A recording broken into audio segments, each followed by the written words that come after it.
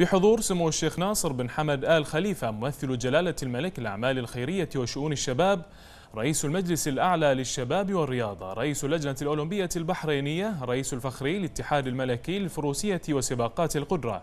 توجه سمو الشيخ خالد بن حمد آل خليفة نائب الأول رئيس المجلس الأعلى للشباب والرياضة رئيس الاتحاد البحريني لألعاب القوى قائد اسطبلات الخالدية الفائزين في سباق كأس سموه للقدرة لمسافة 120 كيلومتر للعموم واسطبلات الأهالي وذلك بحضور سمو الشيخ فيصل بن راشد آل خليفة رئيس الاتحاد الملكي البحريني للفروسية وسباقات القدرة. أشاد سمو الشيخ ناصر بن حمد آل خليفة بالنجاح الكبير لبطولة سمو الشيخ خالد بن حمد آل خليفة للقدرة لمسافة 120 كيلومتر مؤكدا أن نجاح السباق جاء بفضل المشاركة الكبيرة والنتائج الجيدة التي تحققت من قبل جميع الفرسان المشاركين في السباق. بعد الأداء الفني الكبير الذي قدمه فرسان الإسطبلات المشاركة. وأكد سموه أن سباق خالد بن حمد للقدرة شهد نجاحا كبيرا بفضل المشاركة القوية والكبيرة من قبل فرسان البحرين الذين حرصوا على التواجد والمشاركة في هذه السباقات. مشيدا سموه بالمستويات الفنية الرفيعة التي قدمها جميع الفرسان وأكد على تميزهم وفوزهم بالمراكز الأولى والتي جاءت بعد المستويات اللافتة خلال مراحل السباق. مشيدا بالجهود الكبيرة التي بذلها جميع اللجان العاملة والمنظمة للبطولة.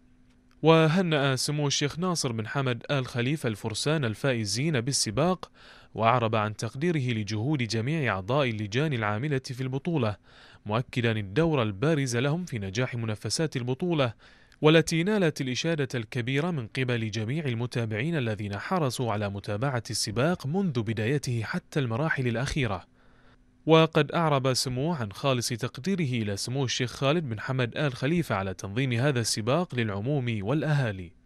وبهذه المناسبة أدلى سمو الشيخ خالد بن حمد آل خليفة بهذا التصريح الذي قال فيه تشهد رياضة الفروسية وسباقات القدرة ازدهارا كبيرا في العهد الزاهر لسيدي الوالد حضرة صاحب الجلالة الملك حمد بن عيسى الخليفة عاهل البلاد المفدى حفظه الله ورعاه بفضل ما يوليه جلالته وأيده الله من حرص واهتمام واسعين بهذه الرياضة المرتبطة ارتباطا وثيقا بتراث وتاريخ مملكة البحرين.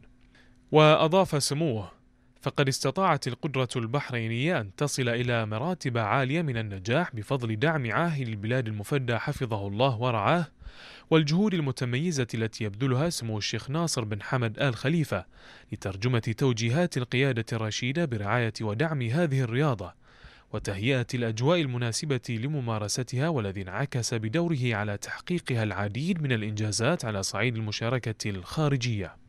وقد أشاد سمو الشيخ خالد بن حمد آل خليفة بجهود الاتحاد الملكي للفروسية وسباقات القدرة برئاسة سمو الشيخ فيصل بن راشد آل خليفة في وضع الخطط والبرامج الكفيلة لضمان استمرارية تطوير هذه الرياضة بما يحقق تطلعات سمو الشيخ ناصر بن حمد آل خليفة بمواصلة القدرة البحرينية للمنافسة في مختلف المحافل والمشاركات الدولية. ومن جانبه أشاد سمو الشيخ فيصل بن راشد آل خليفة بدور متابعة ودعم سمو الشيخ ناصر بن حمد آل خليفة وسمو الشيخ خالد بن حمد آل خليفة لكافة مراحل السباق مؤكدا أن هذا الدعم له بالغ الأثر في تشجيع الفرسان ورفع درجات الحماس والجدية مما ينعكس أثره على الأداء في السباق.